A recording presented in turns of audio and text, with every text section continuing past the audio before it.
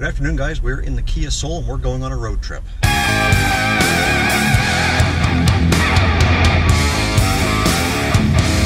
So as you can see, we've put about 560 kilometers on the Kia Soul since we got the motor fixed up and it has been running A1. Uh, only trouble that we're having right now is the radio. The radio does not work no matter what you do to the volume. You can crank the volume all the way up. There's nothing. I can pair my phone to it. I can turn the backup camera on and nothing happens. So we're trying to figure out where the problem lies with the radio in this thing, but we're one step closer to getting it ready for sale. So like I said earlier, we are headed on a road trip all the way to the United States. Granted, it's just across the river, a couple minutes away. But we gotta hit the post office. We're mailing some letters to some fellow YouTubers who have gained a little bit of better traction than I have as we sit today. But you've seen it before. I've sent things out to YouTubers, and uh, as a shout out, or in hopes to get a shout out for my channel, uh, so that we can see the channel grow and uh, and reach more people. And my phone's ringing. That was just the one person in my life who I do not, never have, and never will ignore a phone call from. Anyone care to take a guess? Yep, you know. So I lost my train of thought, but I know where we're going. We're going over to the uh, U.S. Post Office, and actually we're in the U.S. right now. I just came through the customs, and uh, we're heading into the post office.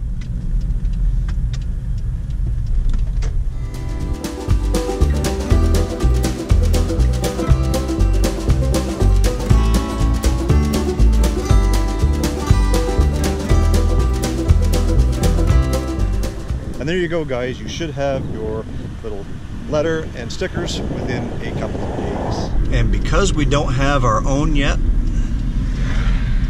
we're doing gut raw American style for lunch today. Looks like we got some visitors from PA. The traffic in town today is just gridlock.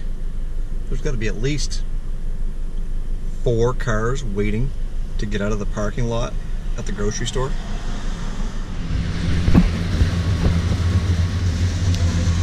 Alex spent the afternoon buffing the car up. Now he wants to get it dirty.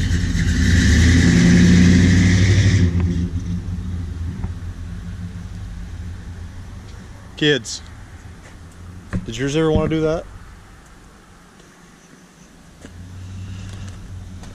Never had anything with enough power.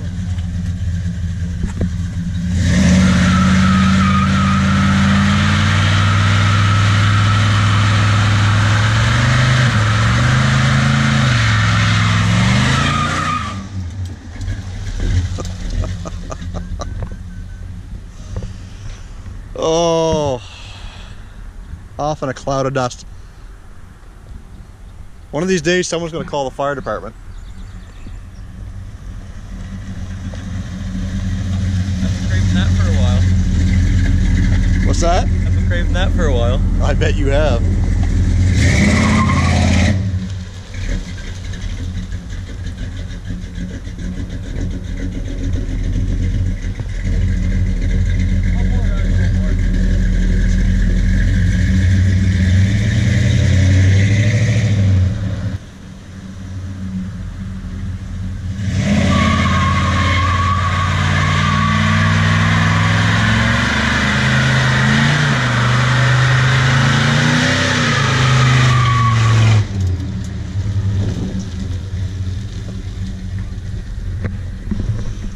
Oh, what a nerd. I don't even think Sherry Dawn could squeeze through there.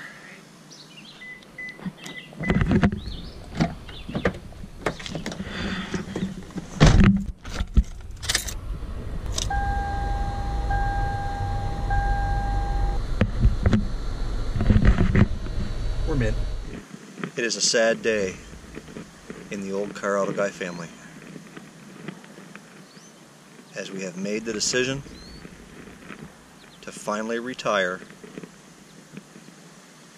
Toyota Sienna. We'll now pause for a moment of silence. Guys, I am just kidding about the moment of silence. However, I am not kidding about making the tough decision to retire the old girl. As you can see in the thumbnail, uh, it is time to retire the old Toyota. And part of the decisioning factor in retiring the Toyota was we no longer have a use for a van. My wife for 14 and a half years took a job that contracted her to run from St. Stephen to St. John, New Brunswick with several stops in between as a contract courier. For the last four years, we've been driving the van that you see behind me. Now I have featured this van before, if I don't get eaten alive by this circle fly. I have featured this van before in this video right here. Uh, so when you have time, go back and take a look at that video because it's pretty interesting. Um, and one of the things that we've prided ourselves on, he's on the lens now. Get out of there. One of the things, because that's what you do for driving back here in a field. One of the things that we were, were so proud of with this van is the fact that we've gotten the mileage out of it that we have.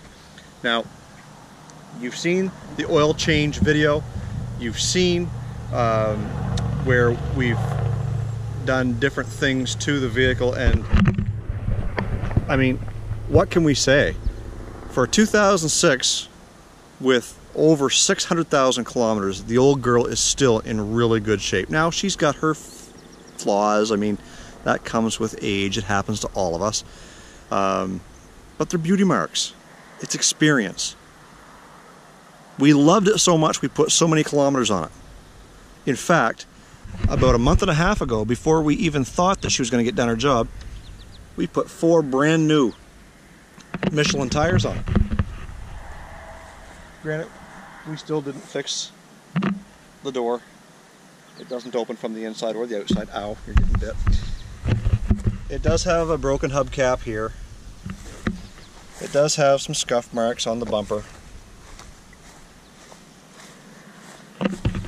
She's been scraped hauling stuff out of the backside of it once in a while. A few more scuffs here. Now that's from the door. When the door opens, it chafes a little bit right there. The Dodge Grand Caravans do the same thing. The rocker panel on this side is starting to bubble a little bit and the last time I had it on the hoist it bent. So she's getting a little soft and before the next inspection it's going to have to have a rocker panel from about here up because the rest of it was new a couple years ago. Got a small little dent there but that'll buff. Got a couple of scrapes there, that'll buff. All these bugs on here, on the front of this, were not murdered in vain. It's got a crack in the windshield, unfortunately that won't buff, but you know, we'll deal with that. But as it sits right now, mechanically, it is safe. It is inspected until February of next year which means if this vehicle in its present condition were to be sitting on a lot somewhere or private sale, it probably has a value of somewhere around 4,500, 5 grand in Canadian dollars. Now that's if it had the average mileage on it. So for a 2006, we're now into 2018, so 12 years at 20,000 kilometers years, it should have 240,000 kilometers, which is nothing. So 240,000 kilometers on a Toyota van. This one's got 620 something, whatever. Or, what's a few hundred kilometers? What's a few hundred thousand kilometers between friends? Anyways, it's time to retire the van. So I can pick it apart all I want, but I wouldn't hesitate to jump in this and drive it to Montreal, Toronto, Halifax, New York, wherever. Um, it's a good van.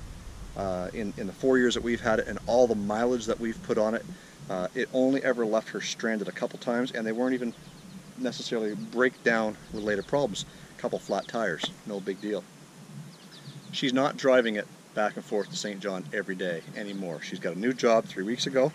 She's working just a couple of miles out of town. So no need for the van and I thought it would be time for her to get into something other than a minivan that she's been driving for the last, like I said, 14 and a half years.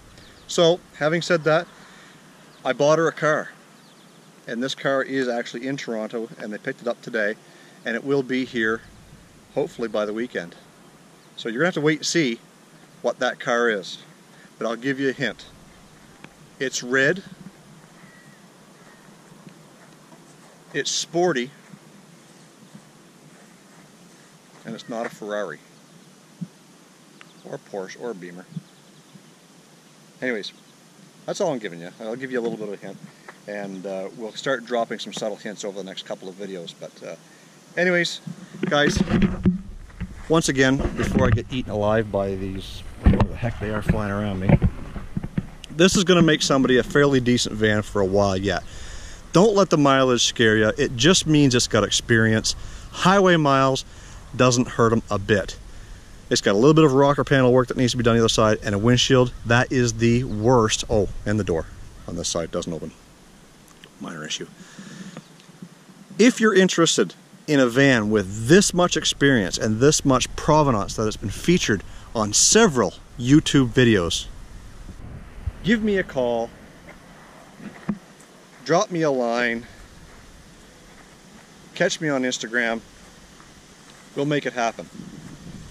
I would like to get 2,500 bucks out of this thing, but no reasonable offer will be refused, and you never know. It just might fly out of here sooner than you think. Okay, Google. I got you guys.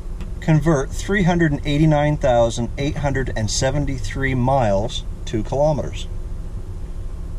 389,873 miles equals 627,439.773 kilometers. That's a lot of experience, guys. We didn't drive it this long because we hated it.